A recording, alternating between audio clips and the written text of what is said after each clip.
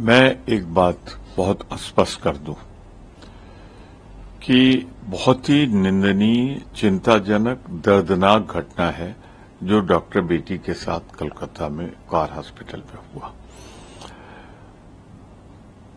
लेकिन मैं एक चीज़ नहीं समझ पा रहा हूँ, बहुत प्रयास करके भी। सुप्रीम कोर्ट की देखरेख में ये जाँच सीबीआई को ट्रांसफ़र हो गई।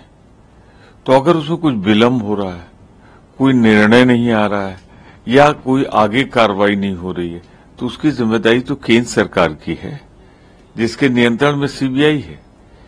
जहाँ तक विधेयक की बात है, मैं इतना ज़रूर कहूँगा कि विधेयक जब आ जाएगा, सार्वजनिक हो जाएगा तो उसको देख लेने के बाद ही उस पर प्रतिक्रिया व्यक्त की जा सकती है, किस स्वरूप में है, क्या उसका प्रारूप है ये सब देखने के बाद ही कुछ कहा जा सकता है।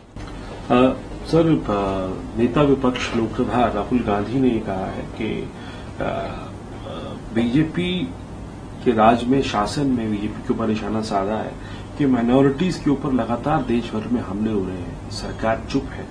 खासकर मुस्लिमों के ऊपर जो है और सरकार एक मूक दर्शक बनी बैठी है और लगातार इसमें कोई दो राय नहीं है कि चाहे उत्तर प्रदेश हो चाहे राजस्थान हो, चाहे उत्तराखंड हो, हर जगह बीजेपी राज में कानून व्यवस्था पूरी तरह ध्वस्त हो चुकी है। आज ही मैं मासूम बच्चियों के बलात्कार की खबर देख रहा था। चाहे वो मणिपुर ही क्यों ना हो, राहुल गांधी ने बिल्कुल ठीक कहा है। माइनॉरिटी पे हर जगह अत्याचार हो रहा है। मैं पूछना चाहता हूँ, हमारे प्रधानमंत्री जी, तमाम कैमरे लगवा के Thank you.